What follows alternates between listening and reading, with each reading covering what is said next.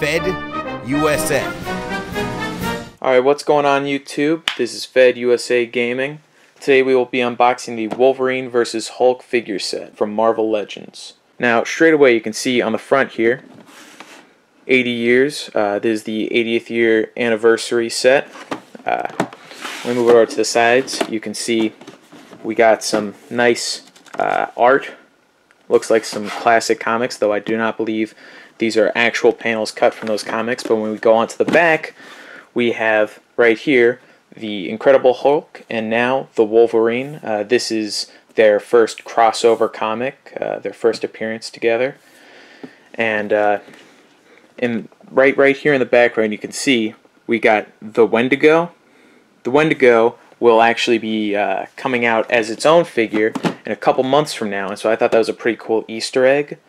So without further ado, let's just hop into this box.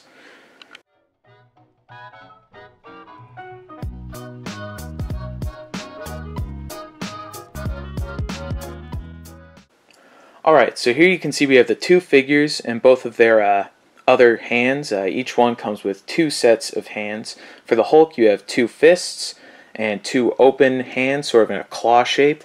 And then with Wolverine, both are closed fists, but uh, one set has the Wolverine claws extended, and the other has them retracted. So let's take them out of their packaging.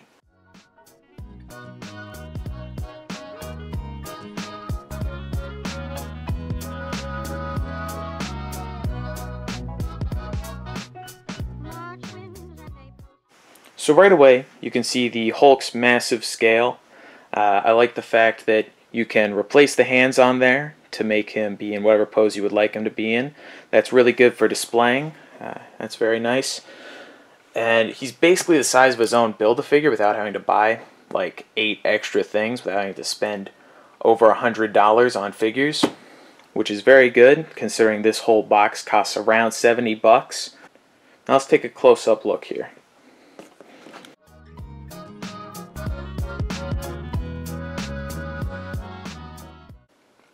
Alright, so one feature of this Hulk figure that you can see right away is this lab coat. And this is very nice. It's a very soft plastic, very malleable. So you can take this off and you could equip this to any Hulk figure that you have. Or if you just don't like him with the lab coat on, you can just take it off, throw it out. It, it, it doesn't matter. But what's really cool is how they actually have it fitted here so it stays on pretty snugly once it's on there. So if you put it on, it's not going anywhere while still having the ability to take it off, which is pretty nice.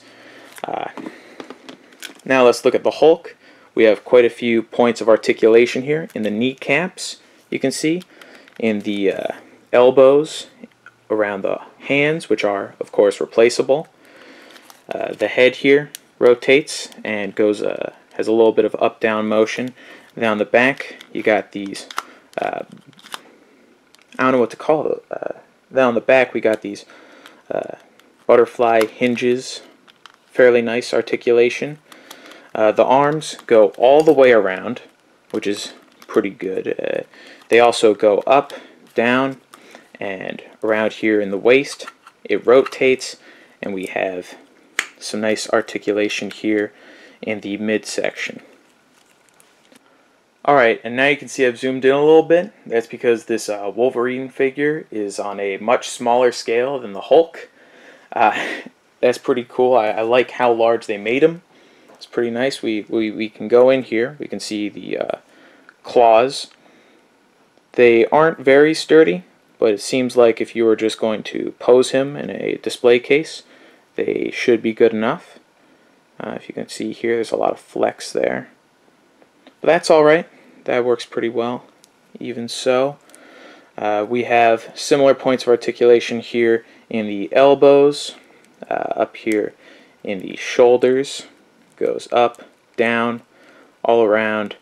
Uh, this piece right here, this uh, sleeve, I guess, partial sleeve, uh, it seems to be connected to this uh, connector right here. So it moves with the arm, which is pretty cool. Uh, I don't know, really depending on how you're thinking about posing him, it could uh, pose some complications, but uh, it, it, seems to be working all right. If you keep his arms fairly steady, these do rotate uh, 360 degrees. Uh, the legs here, you have the legs here, you do have uh, one point of articulation here, which allows you to rotate them 360 degrees. The knees as well, bend, unbend. Uh, in the feet, you have a pretty good wide range of motion, along with in the abdomen here. Goes back to about there, goes forward to about there. And the head, you get basically, uh, yeah, 360 degree rotation, uh, a little bit of up-down motion. And then also in the abdomen, you can see there is this belt. That is a very nice feature. It is very detailed. This is the classic Wolverine. Uh, this is the classic Wolverine uniform from his uh, first appearances, and uh, if I'm being honest, it is one of my favorites. Just how saturated the colors are on the uniform versus the uh, later models is very nice. Uh, I, I, like bright colors, so that, that's just my opinion. Uh, but if you are like me, this is a great figure to get. Let's take a close-up view of the Hulk's face. You can see there is some pretty fine sculpting in there. Uh, I don't know if I can get a good angle on it. You can see the eyes, very white with those pupils in there. The teeth are absolutely remarkable. They're small, but they're very detailed, along with the rest of his facial expression. If you look in the hair here, you can see the black with the small highlights of green, which I'm actually getting a pretty good angle on right now.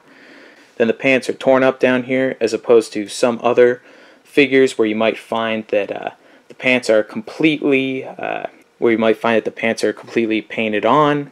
In this one, you can see that the pants are sort of their own entity, along with this uh, lab coat up here. It seems that they're made out of a similar material. These are just fitted on tighter, not meant to be uh, removed or toyed with. But down here towards the fringes at the bottom, you can see some of that flexibility that I'm talking about.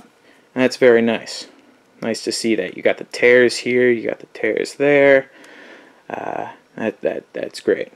Uh, of course, it's very nice to see that they went with the original model of the Hulk, which is very nice to see for the 80th anniversary edition. Makes sense. Same thing that they did with the Wolverine.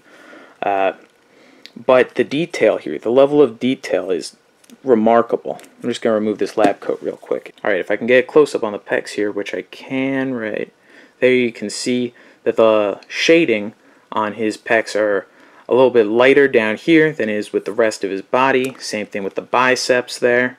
If you can see that, I feel like the detail on this is very remarkable. Very nice.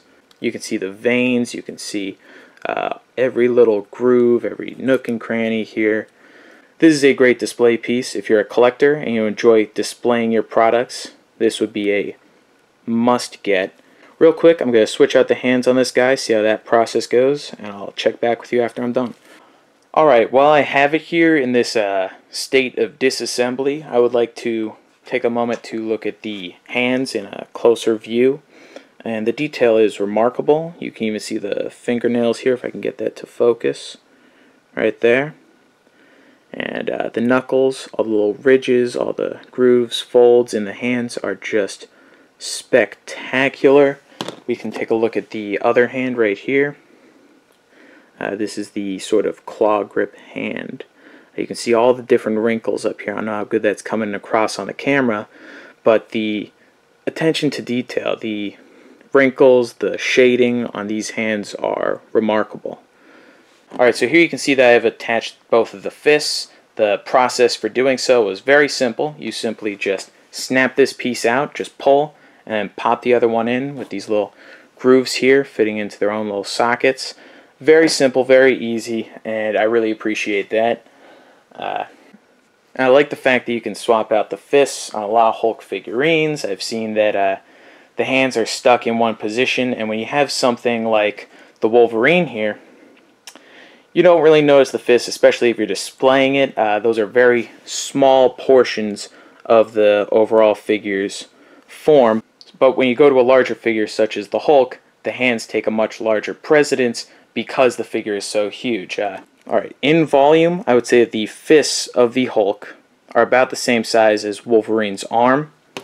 And so if you are a collector and you're trying to display your figure, it would definitely be a lot bigger of a deal if you couldn't switch out the hands on something like this, on a large figure such as this. Uh, so I really appreciate that. When we get down a bit lower, you can really see the scale that the Hulk takes over Wolverine here, uh, which is really nice to see. Uh, if, if this were in the comics, I would assume that the Hulk would, of course, be much larger than Wolverine. As a matter of fact, I would assume it to be at this approximate scale so it is very nice to see a accurate representation of that in this set. Alright, well this was an unboxing and overview of the Hulk vs. Wolverine figure set from Marvel Legends uh, to celebrate their 80th anniversary. And honestly, I can't think of a better way to celebrate that anniversary than by buying this figure set. We are currently in stock of this specific product on our online store, fedusagaming.com. If you enjoyed this video, please consider giving it a thumbs up. If you would like more content from us, then please subscribe, and I will see you in the next one. Keep gaming. Fed USA Gaming. Feed your passion.